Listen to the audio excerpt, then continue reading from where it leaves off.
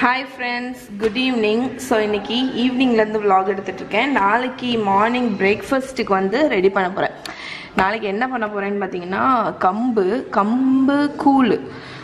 So நான் வந்து நானும் சதீஷும் வெளியே போயிருந்தோம் இது ஃபோக்கஸ் ஆகுதா? ஆ. ஸோ கம்பு கூழ் நானும் சதீஷும் வந்து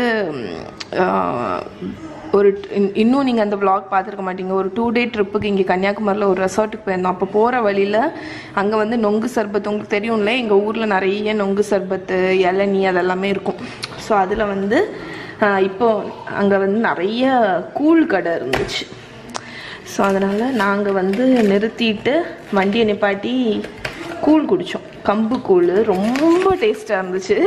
அதனால் வீட்டில் வந்து நாளைக்கு பிரேக்ஃபாஸ்ட்டுக்கு எனக்கு ரொம்ப பிடிச்சிருந்துச்சு. ஸோ ஏன்னா வந்து அதில் மெயினாகிட்டு அதுக்கு சைட் டிஷ் நிறைய கொடுத்துருந்தாங்க. வத்தல் ஊறுகாய் மோர் மிளகா அந்த மாதிரி ரொம்ப நல்லா இருந்துச்சு. அதனால் பிரேக்ஃபாஸ்ட்டுக்கு அதுதான் பண்ணணும்னு சொல்லிட்டு இந்த கம்பு வந்து நான் கொஞ்ச நாள் முன்னாடி வாங்கினது. அதனால் அதை இப்போ வந்து ஊற போட போகிறேன் அங்கே இருந்த அக்காட்ட இது எப்படி பண்ணணும் அப்படின்னு கேட்டேன். ஸோ அவங்க வந்து இதை முந்தின நாள் நைட்டே ஊற போட சொன்னாங்க.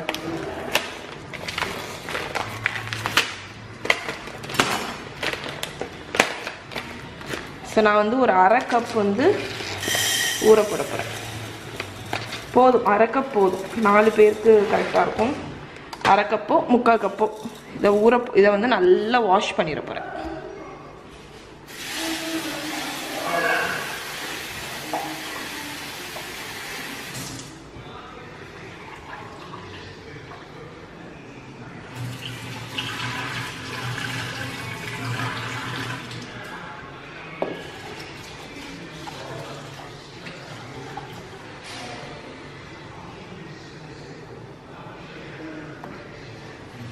ஓகே நான் இங்கே வந்து தண்ணி ஊற்றி வச்சாச்சு.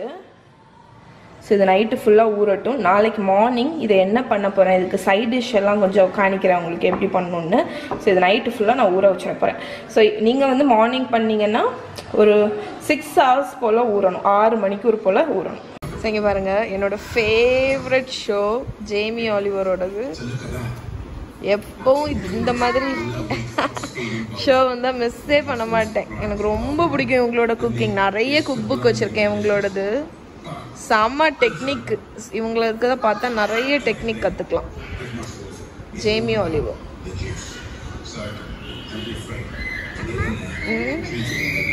அந்த ஷோ மட்டும் வீட்டுக்கு இருக்கேன் ஒன்று வீடியோ எடுக்கணுமா? என்ன சொல்லணும் உனக்கு? ஆ. இது வந்து கம்பு அம்மா வாங்கினேன்ல அதுக்கு கொடுத்த ஒரு குக் புக் குட்டி குக் புக் கம்பு நாங்கள் வாங்கினோம். அதுக்கு ஒரு குக் குக் புக் கொடுத்துருக்கோம். அது வந்து ஒரு ஹெல்த்தியான மில்லட் குட்டி குட்டி கிரெயின் குட்டி குட்டி மில்லட் ரைஸ் மாதிரி. கஞ்சி குடிச்சேன்ல அந்த கஞ்சி அம்மா வீட்டிலே பண்ண போறேன். நாளைக்கு காலையில உனக்கு பிரேக்ஃபாஸ்ட் அதுதான்.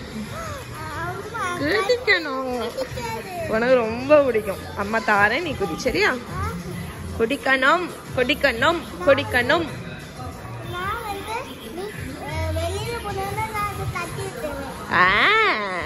நான் ஆ, உன் கூடயே தான் இருந்து தருவேன். சரியா? நீ சத்து மாவு கஞ்சி குடிப்பேல அதே மாதிரி அது மாதிரி இருக்காது. அது ஸ்வீட்டா இருக்கும் இது சால்ட்டியா இருக்கும். அதனால உனக்கு இது ரொம்ப பிடிக்கும். இது கிட்டத்தட்ட கர்ட் ரைஸ் மாதிரி இருக்கும் நல்லா இருக்கும். பொடி. இங்க பாருங்க கம்ப்ளைண்ட் பண்ணுங்க. இங்க பாருங்க. ஐயோ ஃபோன் கீழே விழுந்துட்டு. இந்த அம்மா பாருங்க. இங்க உங்கள்ட்ட கம்ப்ளைண்ட் பண்ணாத பாருங்க. நான் பேச்சே நான் கேட்க மாட்டேன். நீ ஏன் பேச்சு ஆமாக்கா அப்படி சொல்லுங்க ஆமா அம்மா அன்னைக்கு உனக்கு ஒரு டாய் வாங்கி தந்தேன்ல. சும்மா சும்மா நீ டாய் கேட்டேன்னா சும்மா சும்மா எப்படி வாங்கி தர முடியும்? சும்மா சும்மா காசு வராதுல்ல. நான் உனக்கு அன்னைக்கு ஒரு டாய் வாங்கி கொடுத்தேன். நீ சும்மா கடைக்கு போகும்போதெல்லாம் கேட்டேன்னா வாங்கி தர முடியுமாடி? சரி பாய் சொல்லிடு குட் நைட் இப்போ பாரு. குட் ஈவினிங் தான் இருக்கு. குட் நைட் ஆகல ஓகே குட் மார்னிங் ஃப்ரெண்ட்ஸ் எல்லோரும் எப்படி இருக்கீங்க? ஸோ மார்னிங் ஆயாச்சு. நேற்று நைட்டு வந்து கம்பு ஊற வச்சுருக்கேன். கம்பு கூல் பண்ணுறதுக்கு ஸோ உங்களுக்கு வந்து அதை நான் இந்த நைட்டு பண்ண டின்னர் விலாகோடு இன்க்ளூட் பண்ணலான் இருந்தேன். பிறகு ரொம்ப ரொம்ப லென்த்தியாக இருக்கும்னு சொல்லிட்டு இதை வந்து தனி வீடியோவாக போடுறேன். ஸோ கார்டனை பாருங்கள் இப்படி தான் இருக்குது கார்டன் ஸோ இந்த ரெண்டு நாள் வெக்கேஷன் கன்னியாகுமரியில் ஒரு ரெசார்ட் போயிட்டு வந்தோம்ல அதில் வந்து நிறைய ஐடியா எடுத்திருக்கோம். இந்த கார்டனை வந்து கட் சேஞ்ச் பண்ணுறதுக்கு புல்லெல்லாம் போட்டு பண்ணலாம் அப்படின்னு. ஸோ அது வந்து கூடிய சீக்கிரம் பண்ணிடுவோம்னு நினைக்கிறேன். பட் uh, உடனே ஸ்டார்ட் பண்ண மாட்டோம் கொஞ்சம் டைம் ஆகும். ஓகே ஸோ இப்போ நம்ம வந்து நம்ம கம்பு கூல் பண்ண ஆரம்பிச்சிடலாம். பாருங்க இந்த மஹி என்னோட கிண்ணத்தை எடுத்துகிட்டு வந்து என்ன பண்ணியிருக்கான்னு பாருங்கள் கலைக்கவும் மனசு வர மாட்டுக்கு. சரி ஓகே இதெல்லாம் வாஷ் பண்ணோம் ஆனால் இப்போ என் கிண்ணம் என் ஸ்பேச்சுலா இதெல்லாம் தான் உங்களுக்கு விளையாடுறதுக்கு உள்ளது எனக்கு தெரியாமல் எடுத்துகிட்டு வந்துட வேண்டியது. அந்த ஊற வச்சதை வந்து மிக்சியில் போட்டாச்சு. இதை க்ரஷ் பண்ணிடலாம். ஸோ ஸ்மூத்தாக அரைக்கக்கூடாது குறை குறைப்பாட்டு க்ரஷ் பண்ணி வச்சுருக்கணும். ஸோ கம்பு வேக வைக்க தண்ணி கொதிக்க வச்சிட்ருக்கேன். அது கொதிக்கிற கேப்பில் இன்றைக்கி வந்து இதுக்கு வந்து ரெண்டு சைட் டிஷ் உங்களுக்கு நான் சொல்லித்தரேன் ஒன்று வந்து இந்த மிளகா வச்சு பண்ணக்கூடிய ஒரு புளி மிளகான்னு. சூப்பராக இருக்கும். எனக்கு என்னோட ஃபேவரட் இது. எங்கள் ஆச்சி எனக்கு சொல்லி தந்தது. ரொம்ப நல்லாயிருக்கும் இதை வந்து புளியில் வேக வச்சு சர்க்கரை எல்லாம் போட்டு கொஞ்சம் புளிப்பு எரிப்பு இனிப்பு எல்லாம் கலந்துருக்கும். அதுக்கப்புறம் மாங்காய் ஊறுகாய். குயிக்காக பண்ணக்கூடிய ஒரு மாங்காய் ஊறுகாய். ஸோ இப்போ இந்த மாங்காவை நல்லா வாஷ் பண்ணி கட் பண்ண போகிறேன் இது வந்து நல்லா வாஷ் பண்ணி முழுசு முழுசாக வச்சுக்க போகிறேன் ஓகே ஸோ இங்கே நான் மொதல் வந்து புளி மிளகா பண்ணுறதுக்கு புளியை வந்து கரைச்சி தண்ணி ஊற்றி வச்சுருக்கேன். இப்போ இதில் வந்து இந்த மிளகாவை வந்து லைட்டாக கீறிட்டு போடணும் நீங்கள் ஸோ இந்த மாதிரி கீறிட்டு போடுங்க. இந்த மாதிரி கீறிட்டு போடணும். ஸோ இங்கே பார்த்தீங்கன்னா இந்த மிளகா வந்து இந்த புளி தண்ணியில் போட்டாச்சு அவ்வளோத்தையும். ஸோ இது வந்து நல்லா வேகட்டும். இது ஒரு பத்து நிமிஷம் ஆகும். ஸோ இந்த டைப் ஆஃப் மிளகா வந்து கொஞ்சம் ஸ்பைசியாக இருக்கும். அதனால இது புளி தண்ணியில் ஒரு பத்து நிமிஷம் வேகட்டும். அதுக்கப்புறம் நம்ம சர்க்கரை போடுவோம்.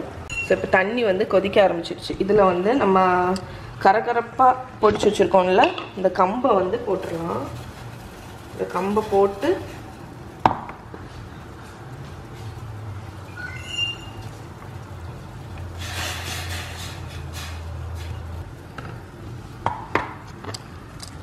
சரிங்க பாருங்கள் கம்பை போட்டு இதை கிண்டி கொடுத்துட்டு இந்த கம்பு வேகிறதுக்கு உங்களுக்கு எப்படியும் ஒரு டென் ஃபிஃப்டீன் மினிட்ஸ் ஆகும். ஸோ இது நல்லா வெந்தோன்னே காணிக்கிறேன். ஸோ இதை இடைக்கிட இப்படி கிண்டி கொடுத்துட்டே இருக்கணும். அப்போ தான் அடி பிடிக்காமல் இருக்கும்.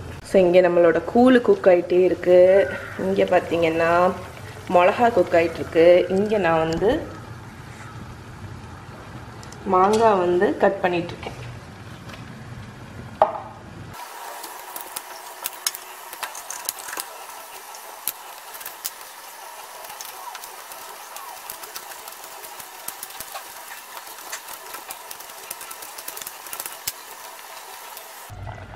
ஸோ இங்கே வந்து நம்மளோட மிளகா வந்து குக் ஆகிடுச்சு ஆனால் முழுசு முழுசாக தான் இருக்கணும். ரொம்ப குழஞ்சிடக்கூடாது.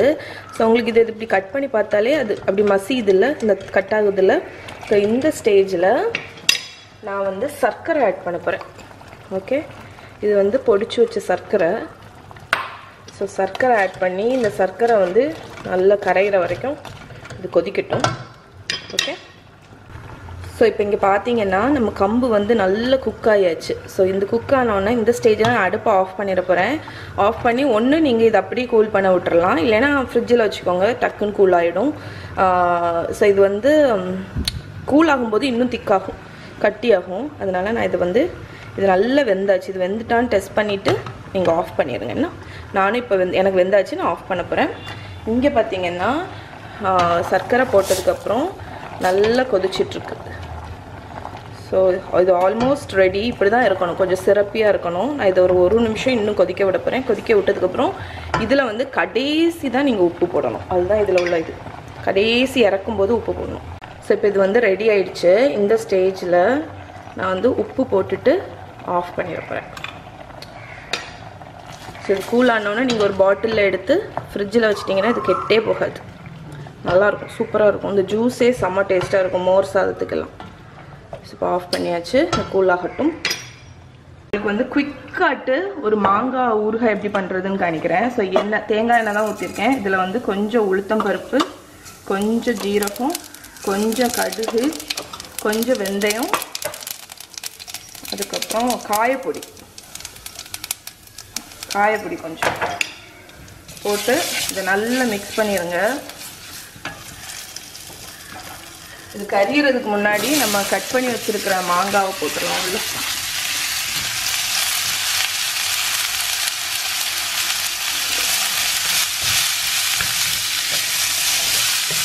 ரொம்ப குக் பண்ணணும்லாம் அவசியம் இல்லை. லைட்டாக சாஃப்ட் ஆகணும் அவ்வளோதான்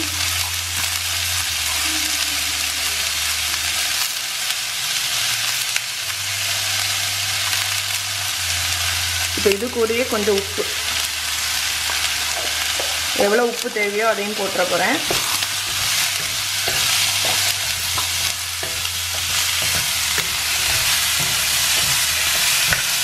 ஸோ மாங்காய் வந்து கொஞ்சம் ட்ரையாக இருக்கிற மாதிரி இருக்குது அதனால கூட கொஞ்சம் ஆயில் விட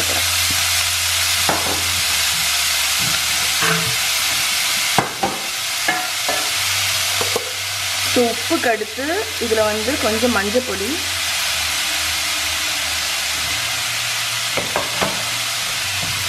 மஞ்சள் பொடி போட்டு நல்லா மிக்ஸ் பண்ணிடுங்க ஓகே உப்பும் மஞ்சள் பொடியும் போட்டு இதை நல்லா சாட்டே பண்ணியாச்சு. ஸோ இப்போ நான் அடுப்பை மூடி இது வந்து ஒரு அஞ்சு நிமிஷம் வேகட்டும். சரி பாருங்க நம்ம மாங்காய் வந்து நல்லா குக் ஆகியாச்சு ஓகே இப்போ வந்து இதில் வந்து பொடி ஐட்டம் போடலாம். ஸோ நான் வந்து சாம்பார் பொடி இருக்குல்ல அது ஒரு டீ ஒரு டேபிள் ஸ்பூன் போடுவேன். அதுக்கப்புறம் கொஞ்சோண்டு காஷ்மீரி சில்லி பவுடர்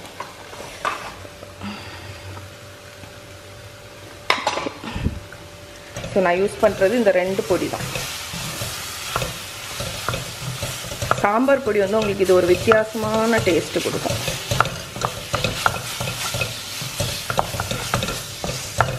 ஓகே இப்போ இதுலேயே சர்க்கரை போட்டுருங்க. சர்க்கரையும் போட்டு கொஞ்சம் தண்ணியும் விட்டுருங்க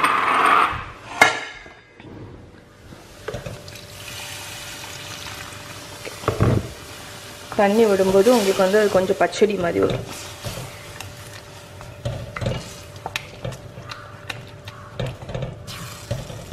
ஓகே ஸோ இது ஒரு ரெண்டு மூணு நிமிஷம் கொதிக்கட்டும். அதெல்லாம் ஆஃப் பண்ணிட வேண்டியதான் ஸோ இங்கே பாருங்கள் நம்மளோட குவிக் மாங்காய் ஊறுகாய் ரெடி ஆயிடுச்சு. ஸோ அடுப்பை ஆஃப் பண்ணிட்டேன். இது கூல் ஆனோன்னு ஒரு கண்ணாடி பாட்டிலில் போட்டு ஃப்ரிட்ஜில் வச்சுருங்க. கெட்டே போகாது. ஸோ இங்கே பாருங்கள் நம்ம பண்ண மாங்காய் ஊறுகாய். இது வந்து அந்த மிளகா. ஸோ ரெண்டும் ரெடி இது வந்து கம்பு கூழுக்கு சான்ஸே இல்லாமல் இருக்கும். அது மட்டும் இல்லை எந்த கூழுக்கு வேணாலும் வச்சுக்கலாம். தயிர் சாதம் எது கூட வேணாலும் சைட் டிஷ்ஷாக வச்சுக்கலாம். ஸோ உங்களுக்கு ரெண்டு சைட் டிஷ் காணிக்கணுன்ட்டு இருந்தேன். காணிச்சிட்டேன். ஸோ இங்கே பாருங்கள் கம்பு நல்லா குக் ஆகிடுச்சு இப்போ ஃபுல்லாக கூல் ஆகிடுச்சு இதை எப்படி கலக்கணும்னு நான் உங்களுக்கு சொல்கிறேன் எவ்வளோ தேவையோ அவ்வளோத்த ஒரு பவுலில் எடுத்துக்கோங்க.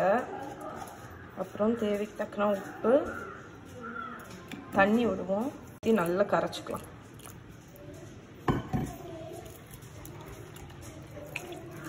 ஸோ ஒரே செல் கையில் ஒரு கையில் கேமரா வச்சுட்டு எடுக்க கஷ்டமாக இருக்குது இதை நல்லா கரைச்சிட்டு காணிக்கிறேன் இது வந்து மோர். இந்த மோரை வந்து இதில் கொஞ்சம் ஊற்றிடுவோம்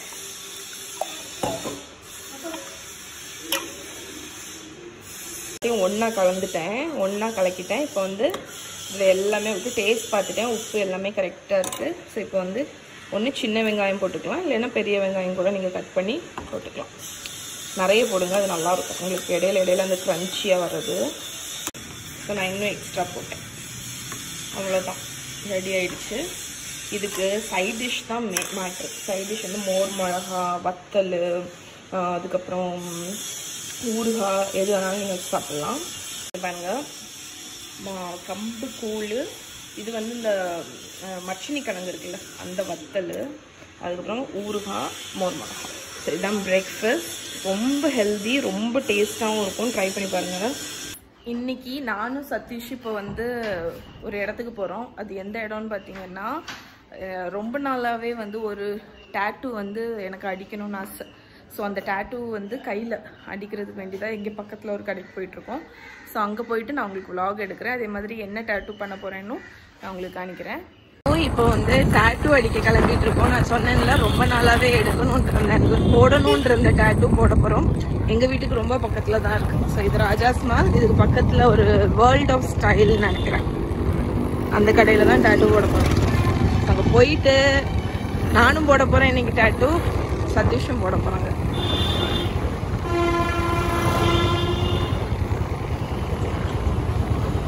நான் எண்டில் இருக்குல்ல வேர்ல்ட் ஆஃப் ஸ்டைல்னு அங்கே தான்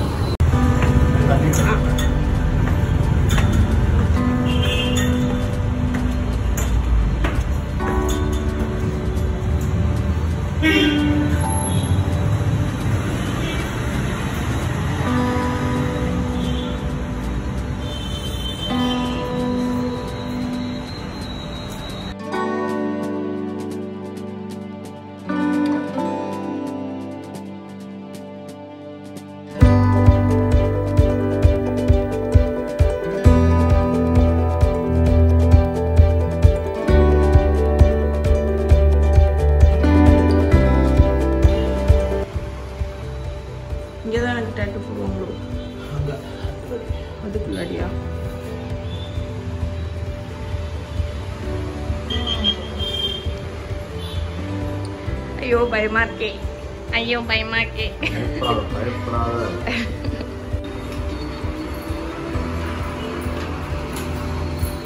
இதுதான் நான் பண்ண போகிறேன் tummy is my life cooking is my life வாய்கிட்ட போய்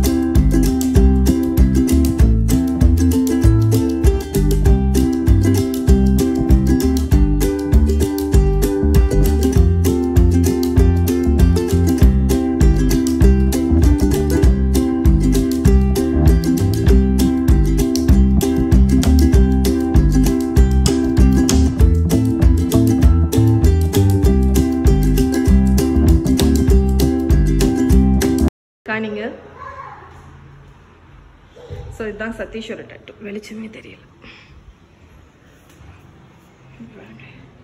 வேல் முருகா வேல் முருகா வேல் முருகா வேல் வேல். ஸோ ஃப்ரெண்ட்ஸ் இதுதான் வந்து டே டூ டே டூவில் வந்து டேட்டூ இப்படி தான் இருக்குது ஸோ பெயின்லாம் ரொம்ப ஒன்றும் இல்லை. ஸோ உங்களுக்கு வந்து நீங்கள் டேட்டூ போடுறீங்க அப்படின்னு இருக்கீங்கன்னா இதில் அவுட்லைன் கொடுத்துருக்காங்கல்ல. ஸோ காணிக்கிறேன் பாருங்க. இப்போ வந்து இந்த டேட்டூவை பாருங்க. இது வந்து நான் வந்து கொஞ்சம் வருஷத்துக்கு முன்னாடி போட்ட டேட்டூ இது வந்து அவுட்லைன் மட்டும்தானே? இதில் ஃபில்லிங் எதுவுமே இல்லை. இங்கெல்லாம் பார்த்தீங்களா வெறும் அவுட்லைன் மட்டும்தான். ஸோ இந்த மாதிரி டேட்டூ நீங்கள் ஸ்டார்டிங்கில் போடுங்க. ஏன்னா இது அந்தளவுக்கு பெயின் இருக்காது. பட் நீங்கள் வந்து இன்னும் ஷேட் கொடுத்துருக்காங்க. ஸோ இந்த டேட்டூவை பார்த்தீங்கன்னா இங்கே ஷேட் இருக்குல்ல உள்ள? இந்த ஷேட் வந்து அந்த ஸ்பூனுக்கு தெரியுதா ஓகே ஸோ இது வந்து அந்த ஸ்பூனுக்கு அந்த தொப்பிக்கெல்லாம் ஷேடு வருதில்ல ஸோ இந்த மாதிரி நீங்கள் ஷேடு கொடுத்தீங்கன்னா உயிர் போயிடும். அதனால் நீங்கள் ஃபஸ்ட் டைம் டேட்டு போடுறீங்க அப்படின்னா நீங்கள் வந்து அவுட்லைன் மட்டும் போட்டுக்கோங்க. அதுக்கப்புறம் என்ன சொல்கிறதுக்கு இதுக்கு இப்போ மெயின்டெனன்ஸ் எல்லாம் பெருசாலாம் ஒன்றும் இல்லை. நிறைய பேர் பிளட்டு கொடுக்கக்கூடாதா அப்படின்லாம் கேட்டிருந்தீங்க. ஆனால் எனக்கு அப்படி தெரிஞ்ச மாதிரி தெரியல. பிளட்டெல்லாம் கொடுக்கலாம். இதுக்கு வந்து என்ன பண்ண சொன்னாங்கன்னா உங்கள் டேட்டூ ஆர்டிஸ்டே சொல்லுவாங்க எப்படி மெயின்டைன் பண்ணோன்னு எங்களுக்கு வந்து போட்டுட்டு வந்தோன்னே ஐஸ் வாட்டர் வச்சு வாஷ் பண்ணிவிட்டு செகண்ட் டேலேருந்து நீங்கள் கோகோனட் ஆயில் போடணும். ஃபிஃப்டீன் டேஸ் தண்ணி சோப்பு எதுவுமே படக்கூடாது அப்படின்னு சொன்னாங்க. அதனால் டெய்லி கோகோனட் ஆயிலை வச்சு நல்லா ரப் பண்ணிட்டோம்னா அந்த ஸ்கின் வந்து உறிஞ்சு வரும் டேட்டூ போட்ட இடத்துல. அதுக்கப்புறம் வந்து நார்மலாக உங்களுக்கு ஆகிடும் வேறு எது வேஸ்லின் எதுவுமே போடக்கூடாது. ஸோ இதுதான் வந்து நான் ரொம்ப நல்லாவே நினச்சிட்டு இருந்த டேட்டூ போட்டுட்டேன் கடைசி. யம்மி டம்மி வந்து என்ன சொல்ல என்னோடய பார்ட் ஆஃப் த லைஃப் மாதிரி. அது வந்து என்னோட கரியர் எங்களுக்கு வந்து கிட்டத்தட்ட வந்து என்னோடய பிளாகு இந்த யூடியூப் சேனல் தான் எங்களுக்கு வந்து என்ன சொல்கிறதுக்கு ஒரு இம்பார்ட்டண்ட் இம்பார்ட்டன்ட்னு மட்டும் சொல்ல முடியாது. அதுதான் வந்து என்னோட லைஃப் என்னோட என்னோட எல்லாமே என்னோட எல்லாமே எம்மி டம்மி தான். அதனால குக்கிங் எம்மி டம்மின்னு சொல்கிறத விட குக்கிங் தான் எனக்கு எல்லாமே. ஸோ அதனால அதை வந்து நான் டேட்டூ ஆட்டு ஒன்று போடணும் அப்படின்னு நினச்சேன். நான் கொஞ்சம் பெரிய டேட்டூவாகவே சூஸ் பண்ணிட்டேன். அதனால் வலி உயிர் போயிடுச்சு. பட் ஓரளவுக்கு கண்ட்ரோல் பண்ணி எப்படியோ போட்டுட்டேன். ஆனால் சூப்பராக போட்டு தந்துட்டாங்க. ஸோ நீங்கள் டேட்டு போடணும் அப்படின்னு நினைக்கிறீங்கன்னா ஸ்டார்டிங்கில் சின்னதாக போட்டு பாருங்கள் உங்களுக்கு எப்படி இருக்குது அப்படின்னா அதுக்கப்புறம் நீங்கள் உங்கள் இஷ்டப்பட்ட டேட்டூ போட்டுக்கலாம். ஓகே ஸோ ம மற்றபடி வேறு ஏதாவது டவுட்ஸ் இருந்தால் எனக்கு கமெண்டில் கொடுங்க. நான் வந்து ரிப்ளை பண்ணுறேன் ஸோ இதோடு இன்றைக்கி வீடியோ முடிச்சுக்கிறேன். இன்னொரு வீடியோவில் உங்களை மீட் பண்ணுறேன் பாய்